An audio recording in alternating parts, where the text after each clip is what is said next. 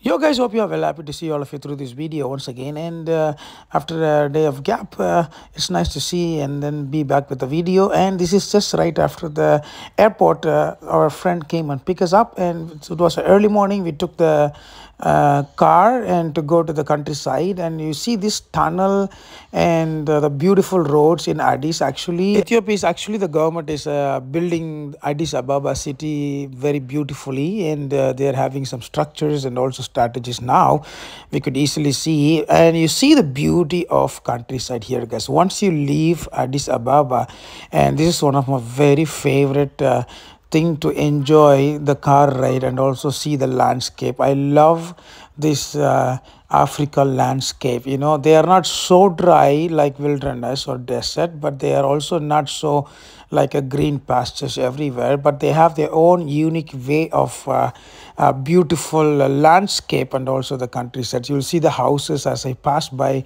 The students going to universities and also people also traveling, you know, to the cities. You can see people walking and also getting some transportation. You see the houses here, you know, it's very simple, way too simple. Sometimes they build with mud and also sticks or woods. Some of them are actually coming to blocks and cement just now. They are just uh, starting now so it will take time for them to build. Look at this beautiful village guys and as you pass by this is all village. It's covered completely with the sheets and also simple uh, construction of the houses. I wanted to go and take a vlog in one house but i couldn't take it but uh, you can actually see the beauty of it. You can see even the schools as we pass by you can see some schools and also some uh, uh, local uh, coffee shops and those are the beautiful things i really enjoy.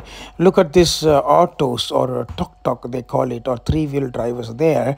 It is so famous in india but now in africa they actually are taking over every cities or every places that we go. You see these coffee shops small ones you know this is like a, a cafe in ethiopia but this is the proper ceremony coffee shop where you'll really enjoy and get authentic or original taste of a coffee and uh, it is really really tasty guys. If you want to drink coffee drink without sugar then you will actually uh, have the taste of the real coffee. And as you pass by this uh, small village and it's actually quite long this village you know it's still beautiful. The roads are very constructed properly. Before when i came 2013 there was no roads but now they have a proper road because uh, there is cement factories everywhere so for the trucks to go the government is actually putting and also i think the chinese companies are taking over. Look at these guys look at these uh, uh, landscapes again you know look at their own land covering with the sticks. This is the school guys i was talking about so beautiful. And their own way of schools. This is the landscape i was talking about. Look at this landscape you know it has a not a huge mountains but a mountains with the landscape so beautiful and these autos look at these auto stand guys. When i came 2030 there was like one or two somewhere. I was so surprised and happy to see. But now you see these autos standing like more than hundreds of uh, auto standing waiting for the customers to take you know. It's so beautiful. Ethiopia is actually growing and also adopting different uh, transportation and also different uh, uh, vehicles from different countries. You know it is so beautiful to see. Hope you guys enjoy this video in ethiopia about the landscape and all some of the villages and cities and see you guys in next video. Bye bye take care. Stay safe